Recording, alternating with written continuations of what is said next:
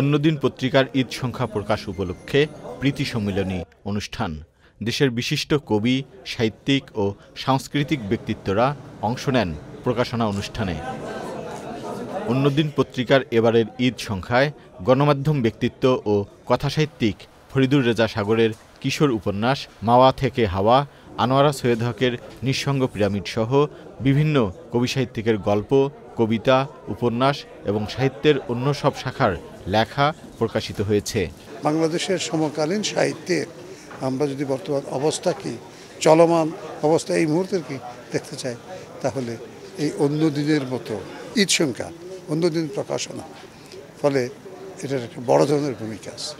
আমাদের বাংলা সাহিত্যের বিকাশে যতগুলো ঈদ সংখ্যা প্রকাশিত হয়, এটি আমার কাছে একটি বড় দিগন্ত মনে হয়। কারণ এসব ঈদ সংখ্যার মধ্যে নবীন, প্রবীণ সব লেখকই থাকে। বিশেষ করে নবীনদের লেখা নিয়ে যারা এগিয়ে আসে, তাদেরকে আমার মনে হয় তারা আমাদের সাহিত্য স্রোতের ধারাবাহিকতা রক্ষা করে চলেছে।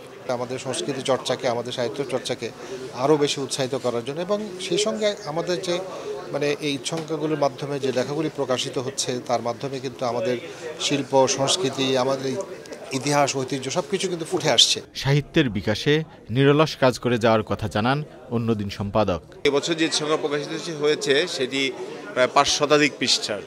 এবং এখানে যে বিষয় বৈচিত্র্য এবং দেশের সেরা লেখকদের লেখা, এটি নিশ্চয়ই পাঠকদেরকে তৃপ্ত করবে। ঈদ সংখ্যায় তরুণ সাহিত্যিকদের বিকাশের পাশাপাশি মানসম্মত সাহিত্য চর্চায় গুরুত্বপূর্ণ ভূমিকা রাখছে বলে জানান বিশিষ্টজনেরা।